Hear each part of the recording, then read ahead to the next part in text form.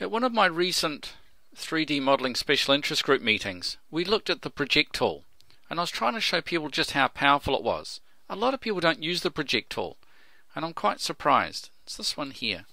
It does do an awful lot of stuff. The first thing I need is a NURBS surface. Now I've got a couple of NURBS already created, a couple of NURBS curves, so I'm going to make those into a surface. Loft surface tool, loft with one rail, first click, second click, enter and OK.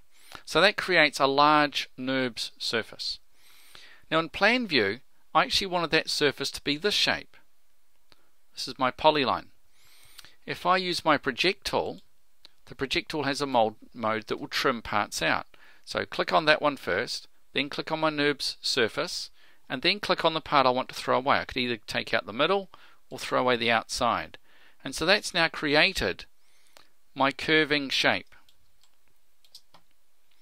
I think this is a lot more fun if we look at this in OpenGL. So let's render that. And now we can start to look around and see what's going to happen. This surface would also be better if it had a thickness. There's a shell solid tool, click on that, and it'll give that a thickness. Now back to the project tool, that's what we really wanted to talk about. Can we take these objects and project them up till they hit the underside of my roof? And we certainly can. First of all, let's have a look at my roof. Oh, it's awfully high, isn't it? So let's just pull that down, grab hold of it, just going to pull it down.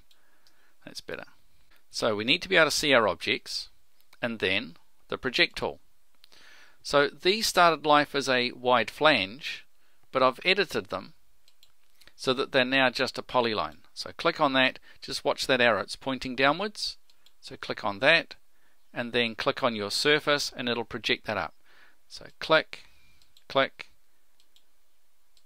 and all you need to do is click on that and click on the object you want to project up to. And it becomes really quick. It's like a uh, fit walls to roof, but it's actually just extruding polylines. Let's try this object. When I click on it, notice the red arrows pointing down. I've got to change that to point up, otherwise when I click on that roof, it won't project up to that roof. What about this object? Projecting that against there. Those are two separate objects. Select them both, right click, add solids, and then I can go back to something like my push-pull tool, and I can select that shape, that, and I can pull that hole right through, and it'll punch a hole right through my model. which is pretty cool. And if you look at the underside, you'll see those columns have been extruded till they exactly match that floating roof. So that's a quick rundown on the project tool. It's this one here. If you don't use it, certainly have a look at it. It is really, really powerful. Thank you for watching. For the Leader in Vectorworks training and manuals, visit learn.archoncad.com.